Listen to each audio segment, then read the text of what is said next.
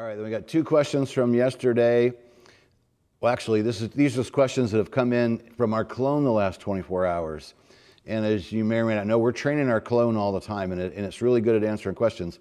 So here's one that came in that apparently the clone, clone didn't have an answer for. So the clone will now have an answer because we're going to upload this video after we're done. With respect to the certification airmen, what is a category of aircraft? This, I'm sure this is in hogs, so why the clone had trouble with that, I don't know, but we're gonna clear this up for you because when you go to take a check ride, they're gonna ask you about category and class of aircraft. You have to know this. So if you don't, and you're getting ready for a check ride, look this up, review it. My reference is the private manual, private manual, private pilot manual that I really, really like using as a reference point. And your categories are airplane, rotorcraft, powered lift, glider, and lighter than air. So under the airplane section, you have single engine land, multi-engine sea, multi-engine land, single engine sea. So those are all classes of aircraft under airplane. Under rotorcraft, you have gyroplane and helicopter. Under powered lift, you can see they are showing like what looks like kind of an osprey or whatever. That's the one that lifts up like a helicopter, then flies like an airplane. Glider, pretty self-explanatory what a glider is. And then lighter than air is either an airship or a balloon. You have to understand which air or the aircraft you're flying or you want a rating for, which category is it, which class is, is it. So that's a good resource right there, the private pilot manual or any other resource that you want to use, but you have to understand category and class. And I know on a recent check ride, somebody struggled somewhere and the examiner made the comment, well, if you don't understand category and class, you won't understand right-of-way rules and that's dangerous, therefore you don't deserve a license, right? So category and class, super important. Categories, airplane, single engine land, multi-engine sea, multi-engine land, single engine sea. Those are the classes under the category airplane. Rotorcraft, gyroplane, helicopter, you got your powered lift, your glider, and lighter than air. And then the other question that came into our clone that the clone didn't have an answer for, when would a pilot be required to submit a detailed report of an emergency which caused the pilot to deviate from ATC clearance? We're almost in 2025. I'm still going to use my 2025 or 2024 FAR/AIM because I haven't got the new one yet obtaining deviation authority to perform an emergency operation, the certificate holder shall provide documentation describing the nature of the emergency to the responsible flight standards office within 24 hours after completing the operation. So another one, tip I want to give you, you must understand emergencies, incidents, and accidents, when to report them and how to report them. So that's 49 CFR NTSB 830. I can't talk today. NTSB 830 accident reporting. Right there's the page in the FAR/AIM that helps you quickly go navigate to any of this stuff.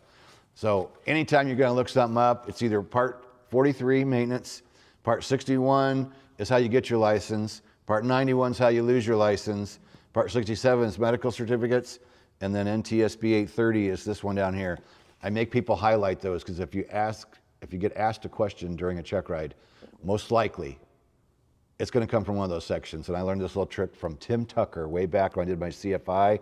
And Tim told two of us, he goes, guys, instructors aren't always showing their students the FAR/AIM and explaining to them how to look things up. Make sure you point out those. To literally take your marker and do this.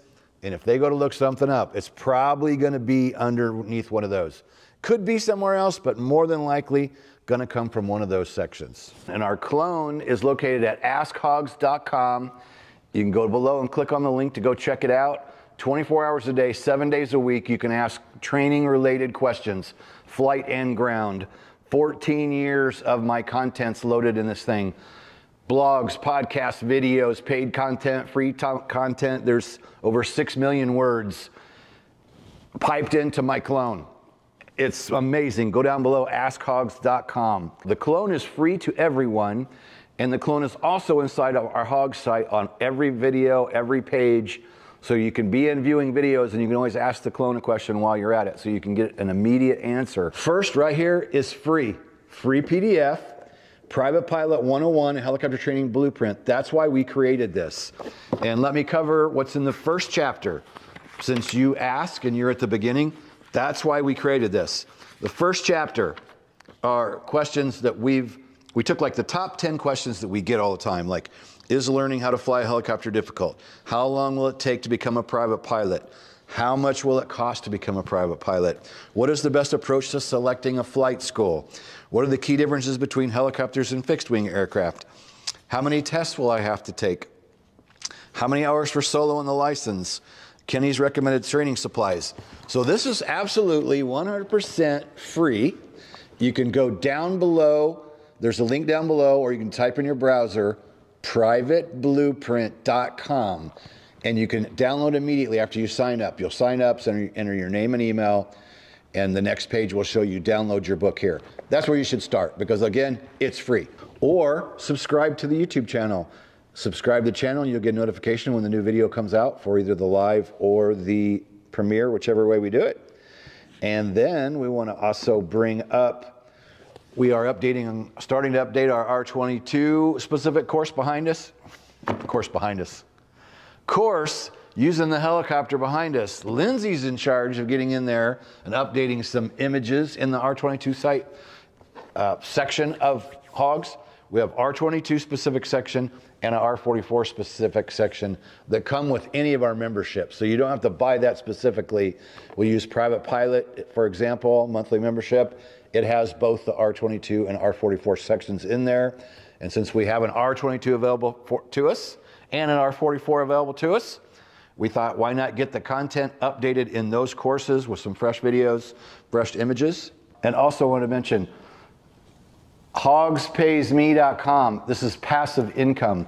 You want to earn some money, particularly if you're a flight instructor. Anybody can use the Hogs affiliate link. You go to hogspayme.com. That link is down below. You'll sign up for it. It'll give you access to a dashboard inside that you'll see your link and a link to share with others. So when they sign up, you receive 50% off our online memberships.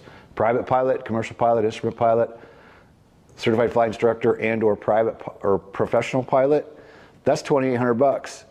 If you share your link with one of your students and they buy Pro Pilot, it's lifetime membership for all courses, you will get $1,400 shipped to your PayPal account after the 30 days. So we have a few spots left for the spring of 2025. So you got to get in now if you want one of these because as course as we're moving into spring, people are talking, they're calling. So we've got like three spots left for the spring. If you want to get in, we're going to put a link down below this video. We've got a short questionnaire to see if you qualify for the final approach course.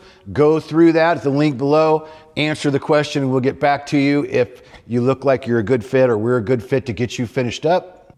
We got three spots basically for the spring, so we can make you number 20, number 21, and number 22 on the Hogs Wall of Fame. When you feel the pressure to fly, but know the right decision is to stay on the ground, hit the Hogs no go and live to fly another day. Helicopterground.com